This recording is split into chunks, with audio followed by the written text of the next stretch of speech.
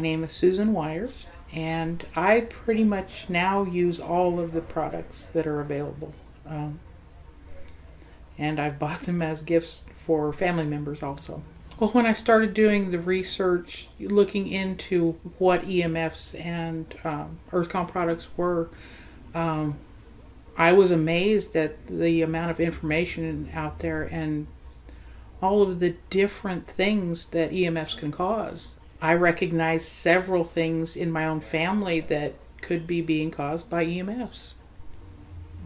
All of a sudden, we were doing much better once we started using the, the home system. Uh, that was the first product that I got, and it made a huge difference. And I really did not realize we were being affected until we noticed the difference. Within the first three days, we noticed that we were all sleeping better. My sister was visiting from out of town, and she hasn't slept all night since she was a teenager. And she slept a seven hour stretch and was just amazed. Um, I have for a long time had just this little little bitty headache at the back of my head.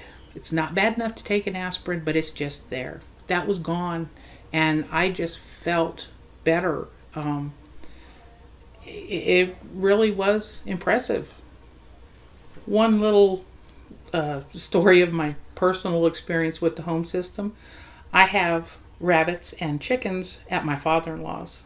Uh, he's got a beautiful barn I was having a horrible time getting my rabbits to breed, and my chickens were not laying. When I moved them over to his place, they just quit laying completely.